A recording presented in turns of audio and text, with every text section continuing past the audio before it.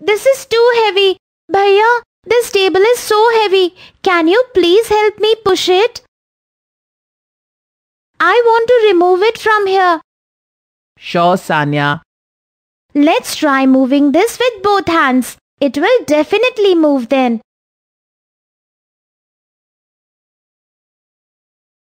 Hmm. Done. This was so not possible alone. Thank you, Bhaiya. Well, pushing it together helped move table even faster. Yes, I remember having read that to move an object you need to either push it or pull it. So does that mean that by pushing or pulling an object, we can actually applying force on it, is it? Yes. Mm, okay. Can you tell me where all have you used force since morning? Let me think. Things like opening and shutting a door, kicking a ball, opening and closing a drawer, pulling out a book from the book rack. Friends, can you help me find some more examples? Sanya, can you guess what will happen if you push the table from this side and I push it from the opposite side? Oh, that is so obvious, Bhaiya. Either the table will not move at all or whoever pushes it harder will be able to move it. So what do you think? Can a force be more, less or equal to another force? Yes, Bhaiya, like you are older than me, you will be able to put more force than me. That's exactly what happens in the game of tug of war too. When two teams pull a rope in opposite directions with equal force, the rope doesn't move and whichever team pulls with more force wins the game. Bhaiya, I want to know more about force. Oh sure, Sanya. Let's find out. See, this is your childhood toy car. Can you push it gently to move it? Good. Now push it again with some more force and see what happens. Bhaiya, it is moving faster now. Friends, this reminds me of the rubber tire game. The rubber tire had to be pushed continuously to make it move faster. Sanya, can you tell me what will happen if you put your palm in front of this moving toy car? The car will stop right here. Oh, so you mean if we apply force in the direction of a moving object, it will move faster. On the other hand, if we apply force in an opposite direction, then either it will slow down or completely stop moving. Am I right, Bhaiya? Absolutely right, Sanya. Friends, can you also tell us some examples where force affects the speed of an object? We see such examples in the playground and very frequently. Can you list them?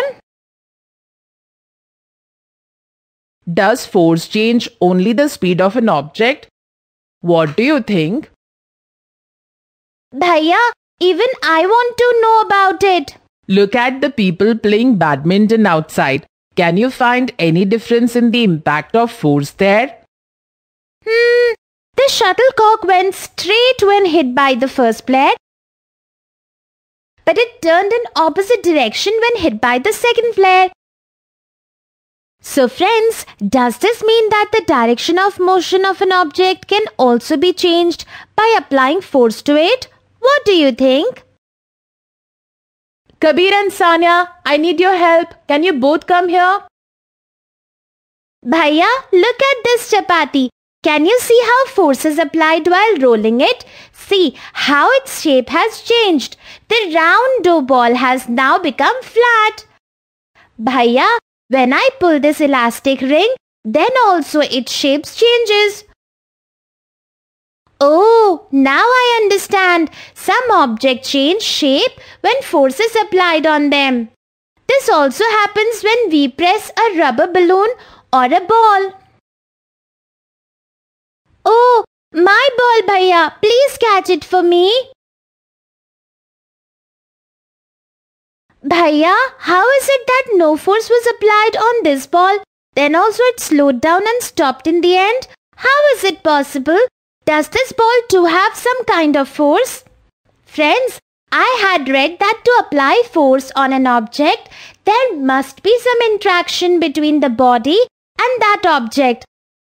Otherwise, a rope, stick or another object can be used to apply force. But here there is no such thing. Sanya, what if it is not the interaction between our body and the object, but instead it is between the ball and the floor? Do you think it is possible? Friends, can you help me with this? Sanya, what do you think can force be applied only by an interaction or contact between two objects? Do you know about the non-contact force? Yes, mummy. I had read that gravitational pull is an example of non-contact force. When we throw a coin, it falls straight on the ground due to the gravitational pull. All objects fall towards the earth because of earth's gravitational pull. Am I right, mummy? Yes, Sanya. Can magnetic force also be an example of non-contact force? What do you think? Mm, let's try it and find out. We'll take these two magnets. If we bring like poles towards each other, these magnets repel each other. And what happens when we bring the unlike poles towards each other? Well, they attract each other. Do you remember we read about it in class 7? I get it. Magnets can exert force on each other without any contact. This is also non-contact force. You are absolutely right, Sanya. Come, I want to show you something else too. Let's take this plastic comb and rub it in our hair. Now bring it near the bits of paper. Oh, Bhaiya, this comb is attracting the bits of paper. Sanya, now can you guess what kind of force will cause this attraction? Bhaiya, is it static electric force? Friends, do you remember reading about a straw when rubbed with paper becomes a charged object? I think by rubbing this comb, a charge is created in it, which can apply force even when not in contact with other objects. Am I right? You are absolutely right, Sanya. We learned what a force and how does it work? Properties of force. Force applied in same direction adds up. One force can be more, less or equal to the other force. Force when applied on an object can change its speed, change its shape, change direction of its motion. Types of force. Contact force, non-contact force.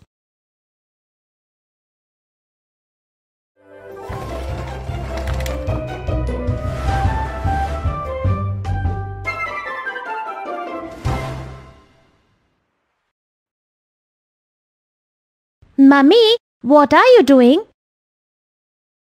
Beta, I'm replacing these thin strap handles of my bag with the broader straps. But why, Mummy? Aren't these thin handles strong enough? Oh, these are strong, Beta, but when I hang my bag, these thin handles hurt my shoulders. If these are broad, the bag will exert lesser pressure on my shoulders and hurt less. But the bag will still have the same weight and so the pressure on the shoulders will also be the same. Then how will replacing these straps help? Come, let me show you. Sanya, look at this wooden plank. Now you can keep these five bricks in a line on this plank. Like this, mummy. Yes, Sanya. Can you see any impact of these bricks on the wooden plank? No, it looks the same as before. Okay, so now keep these bricks one over the other and see what happens. Mummy, this wooden plank has bent down from the middle. Yes, that's right, Sanya. In both the instances, weight was the same. Then why was the impact visible only when the bricks were kept one over the other?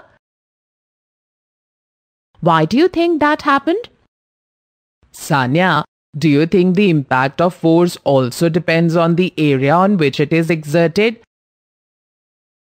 Bhaiya, when the bricks were kept on a larger area, the impact of the force was less. But when these bricks were kept one over the other, the force was only on a smaller area. And the force exerted on this small area on the wooden plank made it bend. Friends, so does that mean that when area on which force is exerted is less, the impact of force will be more? Hmm, you are right. This is called pressure. Oh, so that's why mummy was replacing thin straps of her bag with wider straps so that there is lesser pressure on her shoulders. That's the reason why even our school bags have wider straps.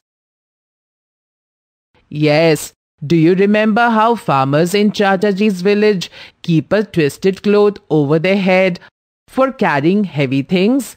It's done to increase the area of contact between the body and the weight. So that the pressure on their body gets reduced. Now I understand, Bhaiya. This helps them carry heavy things easily.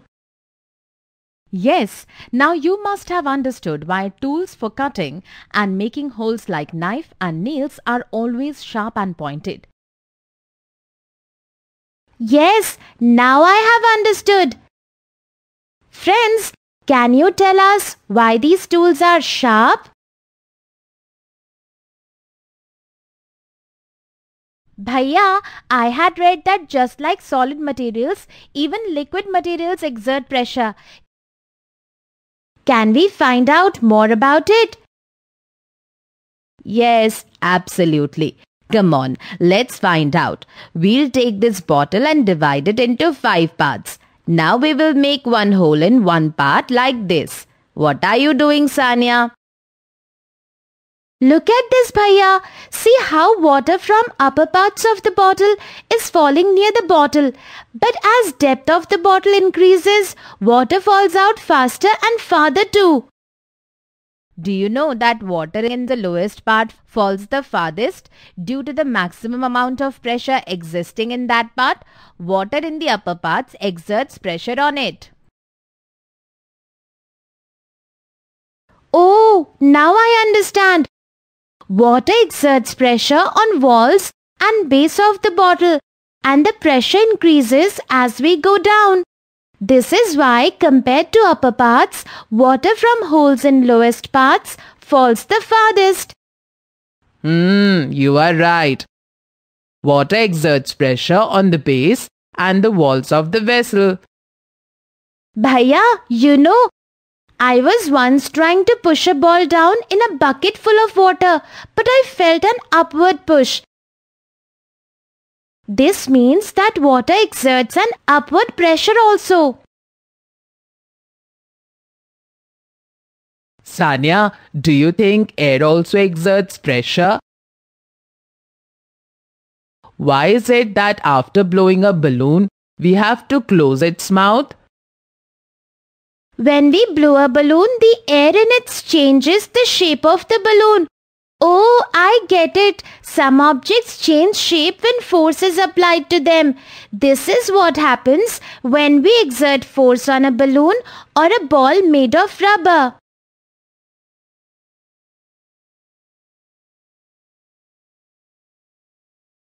Oh, my ball! Help me catch it, please. There is no force on this ball. Even then it slowed down and stopped in the end. How did that happen? Was there any force on it too? Sanya, do you know there is a layer of air around our earth? The pressure exerted by this layer is called atmospheric pressure. Oh, Bhaiya, can we know more about atmospheric pressure? Sure, Sanya. Okay, tell me, have you ever noticed if a room has two windows or doors? How one window or door, which is slightly open, gets opened up further if the other window or door is shut with force. Bhaiya, does this happen due to atmospheric pressure? Yes, absolutely. Atmospheric pressure is much more than what we can imagine. Then why don't we feel constrained and trapped under this pressure? Sanya, you will find about this in your science textbook. You can read and know for yourself. Okay, Bhaiya. Friends, will you help me? Can you refer the book and answer my questions?